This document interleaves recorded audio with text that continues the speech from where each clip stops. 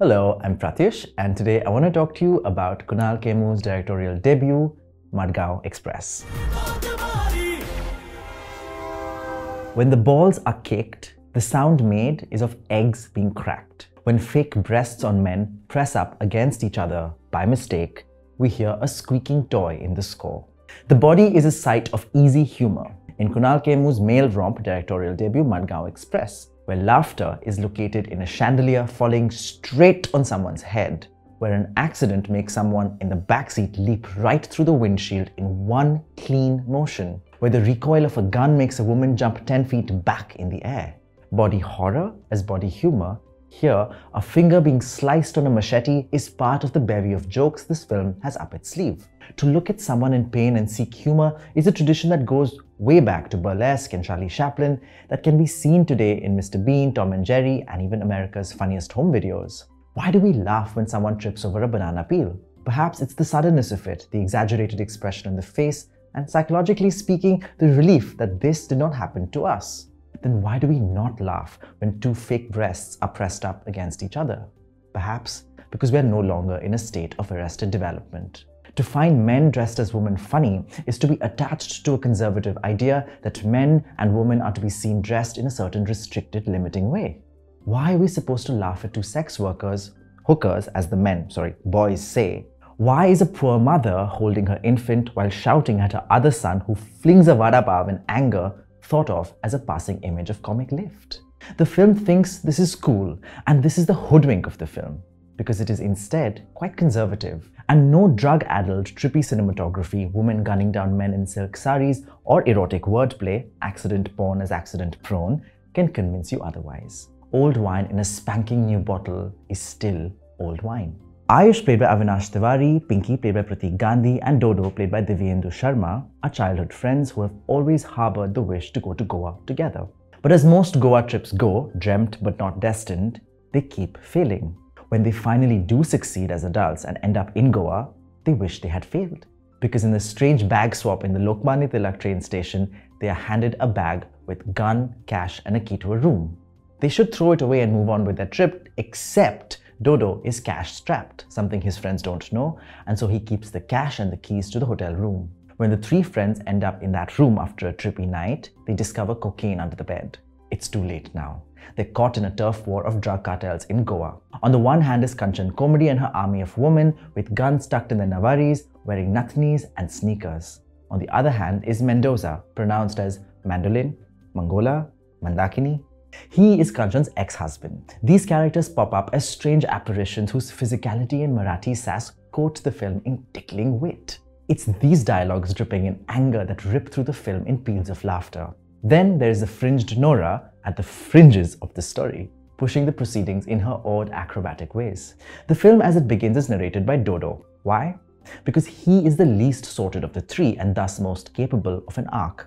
While Ayush is in New York and Pinky is in Cape Town, both making money, moving ahead, marching to the drums of adulthood, Dodo is stuck in Mumbai, delivering pizza, getting fired, green screening photos alongside Salman Khan, Farhan Akhtar, Anurag Kashyap, the Everest base camp, and a penthouse to fake a life online.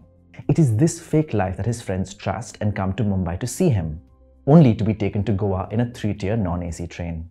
तो इस train के non AC डब्बे में हमें torture करवाना चाहता है इसकी मम्मी को क्या जवाब देंगे मर गया तो मैं क्यों मरूंगा यार The film throws this first-person narration by the wayside when Dodo's loneliness is no longer essential to the story the film treats him exactly the same way his friends did. There's something fundamentally unbelievable about the film's central friendship. Why are these three friends except for the fact that the cinema taught us that these three oddballs belong together? The sensitive mama's boy, the confident alpha, the court jester. This friendship has certainly not thickened over time. When they meet, it isn't like old friends trying to find the rhythm of older times, but distant cousins trying to ward off the hug of an excessively tactile relative. Right off the bat, the film stumbles. There's no nostalgia in their speech, no joust in their jibes. It's only when they speak of their respective loves that this friendship expresses itself as happiness for the other. Look at the face Ayush makes when he hears about Pinky's lover, one of pride and hope on his behalf. But this love is a strange thing. Ayush is in love with a woman he has never met, only chatted with for a year. And the only thing we know about Pinky's lover is that she is a Muslim. And the film never lets us see more, not even her face when she's present. the only Muslim character on screen on whose Islam the joke is made, and she isn't given the dignity of a face. The film actively makes sure we don't see her face through staging and angles. She is the punchline to a joke, and punchlines are never explained.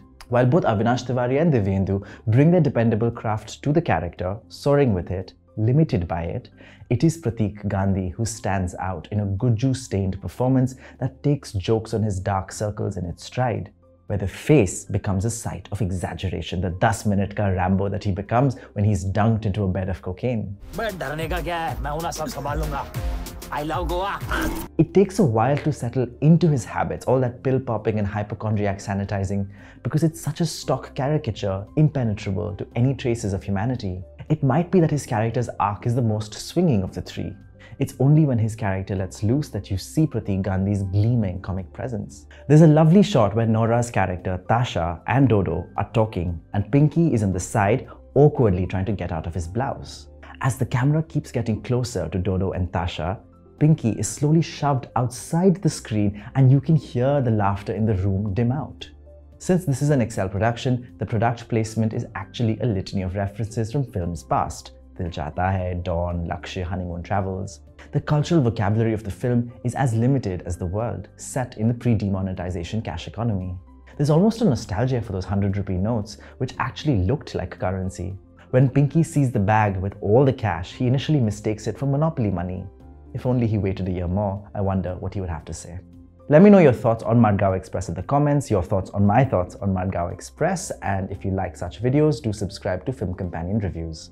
Screen पर कहानी कहने का जो craft है वो बहुत पेचीदा है और उसे सीखने के लिए आपको सालों साल मेहनत करने की ज़रूरत है आप एक फ़िल्म स्कूल जा सकते हैं जहाँ स्क्रीन राइटिंग सिखाई जाती हो या फिर आप खुद अपने घर पर बैठकर स्क्रीन राइटिंग सीख सकते हैं तो चलिए शुरू करते हैं स्क्रिप्ट राइटिंग का ये खूबसूरत सा, अनूठा सा कोर्स जो फ़िल्म कंपेनियन क्लासरूम की तरफ़ से मैं आपके लिए लेकर आया हूँ, ताकि आप जानें, समझें और सीखें कि फ़िल्म राइटिंग करते कैसे हैं।